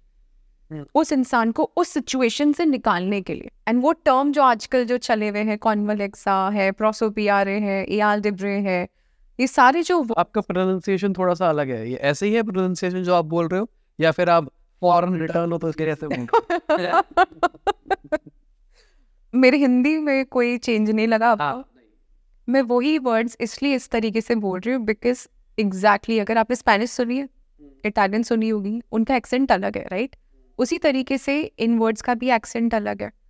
और इन एक्सेंट को लाने के लिए प्रैक्टिस चाहिए होती है। तो मैंने आई थिंक 2017 से पहले से सीखा हुआ है ये सारी चीज़ें। तो अब वो प्रैक्टिस इतनी मैंने की है या इतने लोगों को सिखाया है कि अब मेरा वो एक्सेंट ही वैसे निकलता है, जैसे उन्हें किया जाना चाहिए। सरल एग्ज़ाम्पल आपने बीज मंत्र राम सुना है। जब आप पढ़ते हो तो आर एम लिखते हैं। बट प्रोनाउंस कैसे किया जाता है? राम तो सेम फोक शायर्स के साथ भी है एक्सेंट डिफरेंट है उनकी फ्रीक्वेंसीज डिफरेंट है। जिनको नहीं पता थोड़ा बता देता हूँ कि बेसिकली हर वर्ड की अपनी फ्रीक्वेंसी है जिस तरीके से आप बोलोगे वही फ्रीक्वेंसी हिट होगी। जिस तो, तरीके से आपका साउंड निकलेगा वो वाइब्रेशन हिट होगी। और इसका लॉजिक क्या है? कैसे काम करता है? कि ये जैसे आपने बताया वो पूजा करते थे वो पूजा का पार्ट है। हम्म। तो अब मैं नॉर्मल घर में बैठ के वही वर्ड बोल रहा हूँ। हम्म। प्रोनाउंसिएशन मेरी खराब है पर मान के चलता हूँ प्रोनाउंसिएशन सही है। तो भी क्या वो चीज़ काम करेगी? कैसे लॉजिक क्या उसके पीछे का? जो फोक शायर्स अभी मैंने सिखाए हैं, वो वही फोक शायर्स हैं जिन्हें सिर्फ़ चैंट करना है। ऐसे मेरे पास है, ऐसे ही नॉलेज भी है जहाँ पे मुझे रिचुअल्स करने पड़ते हैं और मैं एक्चुअली रिचुअल्स करती भी हूँ। कोई ऐसे भी लोग आ जाते हैं पेशेंट्स आ जाते हैं या क्लाइंट्स आ जाते हैं जो बहुत लंबे टाइम से कोई प्रॉब्लम से जा रहे होते हैं तो उनके लिए मैं ब्लेसिंग रिचुअल्स परफॉर्म करती हूँ। मैं उन्हें अपने घर पे बुला के या अपने स्टूडियो में बुला के मैं बाकायदा उन पर रिचुअल्स प्रैक्टिस करती हूँ। तब मैं वो वाले फोक शायर्स यूज़ करती हूँ। बट अभी तक जितने मैंने सिखाए हैं, वो वही फोक शायर्स हैं, जिन्हें सिर्फ़ चैंट करना पड़ता है। अब उसके पीछे का साइंस मैंने ऑलरेडी बताया हुआ है मेरे सोशल मीडिया पे बट दोबारा से जब आप उसे चैंट करते हो तो आपका पीनल ग्लैंड हिट होता है। और जब पीनल ग्लैंड हिट होता है तो वहाँ से एक फ्लूड निकलता है। और वो जब फ्लूड निकलता है तो वो आपके क्राउन चक्र को ओपन करता है। और ये बात सबको पता है क्राउन चक्र जब ओपन होता है तो जो संकल्प आपके दिमाग में होता है, वो सीधा यूनिवर्स तक जाता है। एंड यूनिवर्स पूरी कायनात बदल देती है राइट सेम फिलोसॉफी इनकी भी है कि इनका साउंड जो है वो पीनल ग्लैंड को स्टिमुलेट या हिट करने में काम करता है। इसलिए उनका एक्सेंट और उनका प्रोनाउंसिएशन जो है वो बहुत इंपॉर्टेंट है। तो बताओ मुझे ना पाँच सात बताओ उनको फोक शायर्स कुछ ऐसे भी बताना है जो सुने ना लोगों ने। सो द फ़र्स्ट हम पैसा आई थिंक uh, मुझे ऐसा लगता है कि अगर हम किसी से भी पूछे भगवान क्या चाहिए? तो कहते बस पैसा दे दो हमें। तो अगर ऐसा केस है तो ओकलार O C L L A R E ओकलार और जो सी है, वो के की तरह प्रोनाउंस होता है। अगर आप इसका जाप तीन मिनट तक करते हो मिनिमम तीन मिनट के साथ विथ एन इंटेंशन कि मुझे पैसा आ जाए अबांडेंस आ जाए, वो सारी चीज़ें आपके लिए रिवॉल्व करने लग जाती है। अगला आप बताइए किस मतलब मुझे लगता है तीन कोर प्रॉब्लम्स है health wealth and relationship relationships बहुत वाइड टॉपिक है टू बी वेरी ऑनेस्ट इस पर थोड़ा डीप डाउन जाएँगे पहले हेल्थ के बारे में बात करते हैं। अगर कोई भी इंसान है वो लंबे समय से परेशान है कोई ऐसी बीमारी है जो दवाइयों से भी ठीक नहीं हो रही है और बहुत जगह हाथ पैर मार लिए जैसे डायबिटीज़ आजकल हर दूसरे इंसान को डायबिटीज़ है आप उसे कम कर सकते हो पर निकाल नहीं सकते। Blood pressure heart issues so ऐसे केसेस में एक बहुत अच्छा सा है एक ही वर्ड का है सुंकलो। S U N K L O Y सुंकलो Y जो है वो साइलेंट है। सुंकलो, अगर आप इसे एटलीस्ट तीन मिनट तक चैंट करते हो सेम ही एक्सेंट के साथ सेम ही प्रोनाउंसिएशन के साथ, आपकी हेल्थ इंप्रूव होने लग जाती है। बट संकल्प डालना है? हाँ डेफिनेटली डालना है। ठीक है, और किसी को एक नॉर्मल एनर्जी चाहिए इंस्टेंट एनर्जी कई बार क्या होता है, जैसे जिम जाने का मन नहीं कर रहा, या फिर अचानक मैं ऑफ़िस से थक के आया बहुत ज़्यादा एक्टिंग डे था, घर पहुँचा बेटी कह रही है पापा घूमी घूमी जाना है। वो एनर्जी नहीं है क्या? इसके लिए भी कुछ होता है? हाँ डेफिनेटली होता है। उसके लिए बहुत दो वर्ड का फोक शायर है। यहाँ पे सॉरी मुझे बढ़ानी पड़ रही इंटेंसिटी लियंद्रे ले लियंद्रे ले तो अचानक से से फॉर एग्जांपल अगर कोई है जो बहुत डल फील कर रहा है वीक फील कर रहा है हम्म। या कभी कभी ऐसा होता है लोगों के बारे में सोच के भी हम लो फील करने लग जाते हैं। अगर आप इसे मिनिमम तीन बार चैंट करते हो सॉरी थ्री मिनट्स आप instantly you will see shift in your energies अब आते हैं रिलेशनशिप अब रिलेशनशिप में पहली चीज़ रिलेशनशिप अच्छी नहीं है। गर्लफ्रेंड बॉयफ्रेंड में इशू चल रहा है या फिर पति पत्नी में इशू चल रहा है उसको इम्प्रूव करना है। ओके okay, ये वाला जो फोक शायर मैं भी जो देने वाली हूँ वो चाहे कमिटेड रिलेशनशिप्स के लिए भी है नॉन कमिटेड रिलेशनशिप्स के लिए और फैमिलियर रिलेशनशिप्स के लिए भी है। कभी कभी ऐसा होता है कि सास बहू में झगड़े हो जाते हैं माँ बेटी में या माँ बेटी में झगड़े हो जाते हैं। तो आई थिंक हम ब्रॉडर व्यू को अगर हम कवर करते हैं तो ग्रॉस पेसनॉस ग्रॉस पेसनॉस आई नो ये फॉरेन एक्सेंट लग रही है बट ये इंग्लिश से बहुत डिफरेंट है। तो अगर आप इसे again same philosophy minimum three minutes आप चैंट करिए विथ एन इंटेंशन कि ये रिलेशनशिप मेरा ठीक हो जाए you will instantly start seeing results and the beauty of these chants are कि आपके लिए तुरंत काम करते हैं। एंड मेरे पास ऐसे काफ़ी लोग आते हैं, वो कहते हैं, मैम, काम नहीं किया। हम बहुत चैंट किए, फिर भी काम नहीं किया। तो यहाँ आ जाता है फेथ क्योंकि उनका फेथ जो है ना, वो डाउट पे ज़्यादा है। फेथ पे कम, कि हाँ काम करेगा ही। वो चैंट इस व्यू से करते कि देखते करके, होगा कि नहीं होगा। तो उनका जो फेथ है, वो डाउट पे ज़्यादा है rather than having it on faith कि नहीं, मेरे लिए काम करेगा ही करेगा। तो फेथ भी पिक्चर में आता है यहाँ पे। अब एक अचानक आया उसके लिए चाहिए। सुंदरता के लिए कुछ। बहुत सोच सोच के निकाल रहा हूँ मैं टॉपिक मुझे लग रहा है ये हिट होने वाला है। सो so, ये मेल्स भी यूज़ कर सकते हैं फीमेल्स भी यूज़ कर सकते हैं। एंड इसे तरीका ये है कि इसे सोने से पहले ही करना है for minimum three minutes and इसका चैंट है कसेरा no. C A S E R A N O H कसेरा नो और ये मेल्स भी कर सकते हैं फीमेल्स भी कर सकती हैं। अपनी ब्यूटी को इंक्रीज करने के लिए और ब्यूटी फिजिकली नहीं अपनी और को भी आप एनहेंस कर सकते हो उससे। सो इट्स जस्ट एक बड़ा एक फ़ेमस वर्ड है मेलोडी खाओ खुद जान जाओ। सो so, ये मेरी रिक्वेस्ट है हर उन लोगों से जो इस पे डाउट कर रहे हैं कि करके देखने में तो कोई प्रॉब्लम नहीं है। ना कोई पैसा लग रहा है सिर्फ़ तीन मिनट लग रहा है। तो एक बार आप करके देखिए you never know what hits you कितने टाइम में रिज़ल्ट आते हैं इसके। टेक्निकली अगर आप देखो तो मेरे हिसाब से अभी तक सी स्टडीज़ ही होती है कि लोगों के फीडबैक्स के हिसाब से। मैंने ऐसे भी लोगों को देखा है जिनके रिज़ल्ट सिर्फ़ फिफ्टीन टू ट्वेंटी मिनट्स में आ गए और ये मैं नहीं कह रही हूँ आप मेरे सोशल मीडिया पे जाइए you will see tons of feedbacks एक इंसान झूठ बोल सकता है सौ नहीं। सो so अगेन करके देखने में पता चलेगा कि वेदर दे आर वर्किंग और नॉट खोया प्यार हासिल करता है। एक क्वेश्चन आता है इसमें, किसी ने मुझे पूछा था कि मैम अगर एग्स बैग चाहिए तो फ्री विल नहीं आती है यहाँ पे। ये बहुत अच्छा क्वेश्चन लगा था बट अगर मैं देखूँ तो नहीं आती है।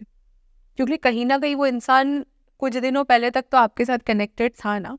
आपको सिर्फ़ उस नेगेटिव एनर्जी को हटाना है वहाँ से, ताकि आप रीबाउंड कर सको। तो अगर आपको अपना एक्स वापस चाहिए, जो कि बहुत लोग चाहते हैं ऐसा हो, उसके लिए एक बहुत सुंदर सा एक वर्ड का ही फोक शायर है, और A O T H Arna E R N A H औत अर्ना। और इसको साथ में प्रोनाउंस करना है। औत अर्ना औत अर्ना। इस तरीके से अगर आप इंटेंशन डाल के कि मुझे ये जो मेरी फीमेल है ये वापस आ जाए ये मेल वापस आ जाए within three days I have got amazing feedbacks for this ठीक है। और लड़का लड़की सब ले सक, कर सकते हैं। अब किसी को डिवोर्स चाहिए। अब इधर मैं नहीं दूँगी। मैं अच्छे काम करती हूँ। ठीक हम हम नेगेटिव साइड ऑफ़ स्टोरीज के बारे में बात नहीं करने वाले। इधर अच्छा काम करते हैं थोड़ा सा। ठीक है तो अभी अगर आप इन वर्ड्स की बात करके चले तो इस वर्ड्स में जो आप बोल रहे हो फ्री विल है ही नहीं। कि मतलब मेरे कर, मतलब मेरी डेस्टिनी वाला सीन ही नहीं है। कि मेरी किस्मत में था ही नहीं बट मैंने बोला और वो हो गया। यहाँ पे एक टर्म है जो मैं क्लैरिफाई करना चाहूँगी और ये मैं अपने पर्सनल एक्सपीरियंस से बात कर रही हूँ। मेरे गुरु एक बहुत सही बात करते हैं और उनकी वो जो बात है ना मेरी लाइफ में बहुत चीज़ें चेंज कर चुकी है। डेस्टिनी फिक्स्ड है। और उसकी जर्नी फिक्स नहीं है। हम इन सारी चीज़ों को करके हम इन सारे कर्मों को करके अपनी जर्नी को सुधार रहे हैं। डेस्टिनी तो लिबरेशन ही है मोक्ष ही है।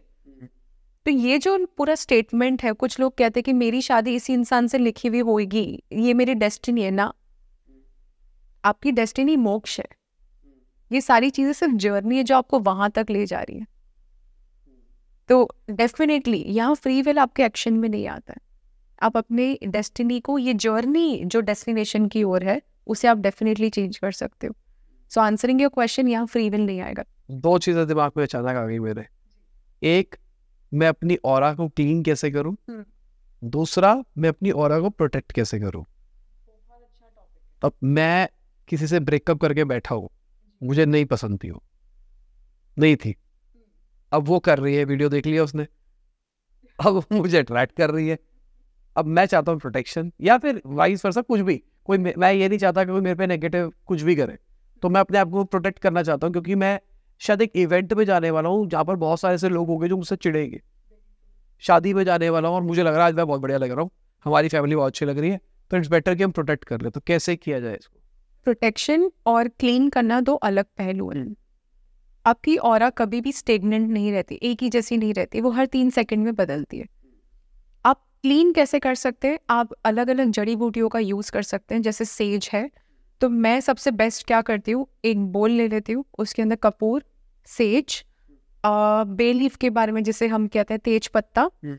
और थोड़ा सा अगर आप देखो तो लविंग होती है। तीन या चार लविंग ले ली। इन चारों चीज़ों को मिला लेती हूँ और उसका धुआँ निकाल से फॉर एग्ज़ाम्पल उसको बर्न कर लिया। तो उसमें से जो धुआँ निकलता है तो उस इंसान के शरीर पे से एंटी क्लॉकवाइज तीन बारी आप इसका उतारा कर लो। अब तीन बारी जब आपने उतारा कर लिया एंटी क्लॉकवाइज ये जो आपका मिश्रण बचा है इसे घर के बाहर जाके फेंक के आना है। ये बहुत कॉमन मेथड है उतारा करने का जिससे और हमारी क्लींस हो जाती है।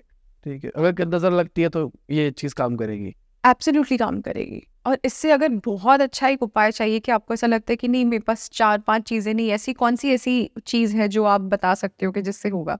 तो भोजपत्र के बारे में सबको पता है जिसे हम ऑर्गेनिक पेपर कहते हैं जिसपे हम यंत्र बनाते हैं। भोजपत्र लेना है उसके बीच में थोड़ा सा काला नमक जो जिसे हम कहते हैं वो डालना है। अब इस भोजपत्र को आप रोल कर दीजिए। अब इसको जला दीजिए तो इसमें से धुआँ निकलने लग जाएगा। अब इस धुएँ को, उस उन, जैसे हम कैसे धूप दिखाते हैं, उसी तरीके से इसके जो फ्यूम्स निकल रहे हैं, उस इंसान के बॉडी पे आप शो करने लग जाओ, या आप धूप दिखाने लग जाओ, उसकी और आप विद इन टू मिनट्स वो चेंज होने लग जाते हैं। और जितनी भी नेगेटिव एनर्जीज है, उसकी और से निकलने लग जाते हैं। सो ये एक उपाय हो गया नेगेटिव एनर्जी या नेगेटिविटी को क्लेंस करने का। अब प्रोटेक्ट कैसे करना है? तो दो उपाय मैं यहाँ देना चाहूँगी। एक होगा वो वैदिक के हिसाब से होगा एक हो जाओ वेस्टर्न के हिसाब से होगा। तो जो वैदिक के हिसाब से है तो सात खड़ी जिसे हम साबुत काली मिर्ची कहते हैं सात साबुत काली मिर्ची तीन लवंग एक फिटकड़ी यानी एक एलम का टुकड़ा। इन तीनों चीज़ों को एक रुमाल में बाँध लो और इसे अपने साथ हमेशा कैरी करो। तो आप पे कोई भी बुरी सी बुरी शक्तियाँ भी होंगी कभी आपको अफेक्ट नहीं कर पाएँगे। सेकेंड अगर आप वेस्टर्न के हिसाब से अगर आप मुझे मांग पूछ रहे हैं तो मगवट नाम का एक हर्ब आता है। मगवट कहते हैं। आपको अमेजोन पे इजीली इंडिया में भी आजकल मिलने लगा है। तो अगर वो हर्ब आप छोटा थोड़ा सा इतना हर्ब ले लो और उसे आप एक कोई भी जार ले लो ग्लास जार है या छोटी सी पेपर बैग है या क्लोथ बैग है उसमें डाल के अपने साथ कैरी। करो आप हमेशा प्रोटेक्टेड रहते हो। ये दो उपाय आप कर सकते हो हमेशा अपनी और को प्रोटेक्ट करने के। तो अब मैं पार्टी में चला गया हूँ इसी अंदर भी एक और क्वेश्चन निकल के आ गया okay. तो वहाँ पे मैं चाहता हूँ लोगों को मैनिपुलेट करना अपने राव। कि मतलब मेरी बातें सुने मेरे पे ध्यान दे जो मैं समझाऊँ वो काम चले। तो इसके रिगार्डिंग भी कुछ होता है क्या? इसके लिए मैं आपको कोई हेक्टिक सा उपाय नहीं देना चाहती हूँ बट एक ऐसी सिंपल सी चीज़ जो आपको ऐसा लगेगा बस इतनी सी बात है गूगल पे जाना है और सिर्फ़ इतना सर्च करना। Third seal of Venus of Solomon अब जैसे इसको टाइप करोगे तो आपको एक तस्वीर निकल के आएगी जो कि सर्कल में होगी। आपने क्या करना है? इसका प्रिंट आउट लेना है और अपने वॉलेट में डाल के उस पार्टी में चले जाना है। है सिंपल और उसी तरीके से अगर आप नेम चाहते हैं, आप जिस इंडस्ट्री में हो, उसमें आप चाहते हो कि आप हमेशा टॉप पे रहो, आपका कोई कंपटीशन नहीं हो और आता है तो भी कॉम्पीट नहीं कर पाए। तो उसी तरीके से गूगल पे जाना है और सिंपल इतना टाइप करिए first seal of sun of Solomon तो जो तस्वीर निकल के आएगी जिसमें एक सर्कल होगा और बीच में एक फिगर बनी हुई है उसे प्रिंट आउट निकाल दीजिए। या तो आप चाहे तो आप ड्रॉ भी कर सकते हैं। अगर आप आर्टिस्टिक हैं तो एक पेपर और पेन पे ड्रॉ कर लीजिए। इसको रोल करके अपने वॉलेट में हमेशा कैरी करिए। आप मुझसे फिर बात करना। ये भी प्रोडक्ट बन सकता है। नहीं वो मेरा प्रोडक्ट है। इस विजिटिंग कार्ड टाइप्स बना लो और पर्स में रख के घूमो। वो करते हैं। दिस इज़ अ रियलिटी मैंने वहाँ पे कितने लोगों को देखा है। जब मैं गई थी टोरंटो की, अगर आप, मैंने ऐसे ऐसे लोगों को देखा है कि उनका फ़ोन है। आजकल लड़कियों को पता है वॉलेट्स नहीं होते तो पीछे वो कुछ लाइसेंस या कुछ है। मैंने ऐसे ऐसे लोगों को देखा है कि ये सील्स उनका प्रिंट आउट वो फ़ोन के पीछे रख के कैरी करती हैं। और एक को देखा हो तो बात अलग है। मैंने कितने लोगों को देखा है सेम चीज़ करते हुए। और ये चीज़ें दिखनी चाहिए या क्लोज भी रहे तो कोई दिक्कत नहीं है? सी है डिमोनिक तो है नहीं नेगेटिव भी नहीं है। ये बहुत पॉजिटिव साइड पे है तो अगर वो दिखती भी है तो कोई प्रॉब्लम नहीं है। ठीक है और जैसे मेरे जैसे लोग हैं मैं पर्स नहीं रखता हूँ। मतलब पर्स है मेरे पास में पर वो पर्स दराज में या बैग में पड़ा रहता है। मैं खाली जेब में रहना पसंद करता हूँ तो मेरे जैसे लोगों के लिए पर्स काम करेगा या फिर कुछ ऐसी चीज़ जिसको मैं लेके साथ में ट्रेवल कर रहा हूँ? आप आपके लिए जो कन्वीनियंट है। सी ब्यूटी पता है क्या है इन सारी चीज़ों की कि आप अपने कन्वीनियंस के हिसाब से इनके अप, उनको रख सकते हो अपने साथ। अब्रॉड में अगर आप कोई भी साइट्स पे जाओ और इनका नाम सर्च करो तो बाकायदा पेंडेंट्स मिलते हैं इनके। और लोग इस पेंडेंट्स को पहनते भी हैं। पर इंडिया में हम नॉट श्योर कि किस तरीके से है बट वहाँ मैंने लोगों को पहनते हुए भी देखा है। सो अगर कोई लोग वॉलेट यूज़ नहीं कर रहे हैं तो वो पेंडेंट ले लो और अपने जेब में उसको हमेशा रखो। It's still going to work thank you सबसे पहले। बहुत मज़ा आया। बहुत सारी नई चीज़ों के बारे में हमने बात किया है जो कि मैंने अभी बहुत सारे पॉडकास्ट कर लिए अलग अलग कैटेगरी के कर लिए। ये मेरे लिए एक अलग लेवल की चीज़ें थी। आपके लिए शायद कॉमन था क्योंकि आप बहुत टाइम से ये चीज़ कर रहे हो बट मेरे लिए बहुत नया था। उम्मीद करता हूँ आप लोगों के लिए भी नया होगा। कमेंट सेक्शन में बताना कि क्या क्या नई चीज़ें सुनी है आप लोगों ने। Thank you so much for having me here and आपने जो क्वेश्चंस पूछे आई थिंक मुझे भी इतना मज़ा आया। हर एक चीज़ को टेक्निकली आंसर करने में कि मुझे इससे लगा ही नहीं कि मैंने पॉडकास्ट किया। It was so smooth and मुझे बहुत अच्छा लग रहा था उन टेक्निकल चीज़ों को आंसर करने में। और हमने जो पिवट किया है स्टार्टिंग से एंड में हमने सोचा था हम इस टॉपिक पे करेंगे फिर वो करते करते करते करते हम बहुत ही अलग डायमेंशन पे ले गए। मज़ा आया। Likewise likewise thank you so much तो इसी के साथ ये वीडियो खत्म होती है। उम्मीद करता हूँ आपको मज़ा होगा। लाइक कर देना शेयर कर देना कमेंट बताना वीडियो कैसी लगी। Bye good Shaba good office good morning afternoon. जब भी वीडियो देख रहे हैं, जय हिंद बदे